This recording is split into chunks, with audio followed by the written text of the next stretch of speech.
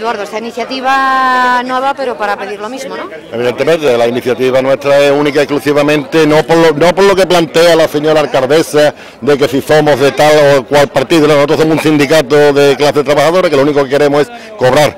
Y lo único que le exigimos a esta alcaldesa es que si no está cualificada para solucionar los problemas que nos está acarreando, que evidentemente que presente su dimisión, independientemente de quién se haga cargo de la alcaldía que será de su partido o, de, o, del grupo que tiene constituido con el PEA, nos da exactamente igual. Lo único que queremos es llegar el día 5 y que tengamos nuestra nómina y evidentemente los atrasos, que tampoco nos dan ni fecha, ni plazo, ni forma de, que podamos ponernos al día en nuestra, en nuestra tan abultada deuda que tiene con los trabajadores de este ayuntamiento. ¿Van a seguir con los Por supuesto, vamos a seguir hasta el final. El final significa o dimite y se va o nos paga y se va. O sea que aquí no hay medias tintas. Este sufrimiento que llevan estos tantos trabajadores de este ayuntamiento, de pérdida de, vivienda, de pérdida de, coche, pérdida de matrimonio, pérdida de familia, esto no está pagado con nada. Mire usted, usted es una persona incompetente para desempeñar el cargo que tiene, por lo tanto presente su dimisión. Si tuviera un mínimo de dignidad,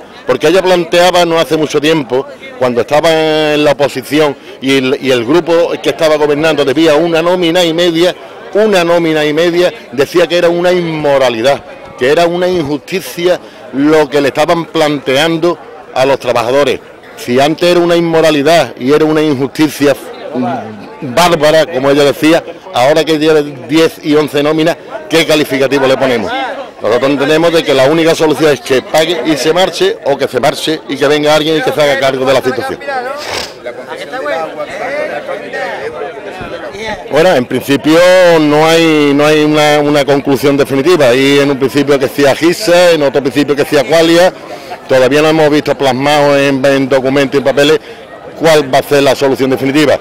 A nosotros personalmente, como sindicato, nos da igual. Lo que sí queremos es que todo lo que ingreso que entre fuera de lo normal, que sea para pagar la nómina de los trabajadores, que ya son 8, 9 y 10 respectivamente.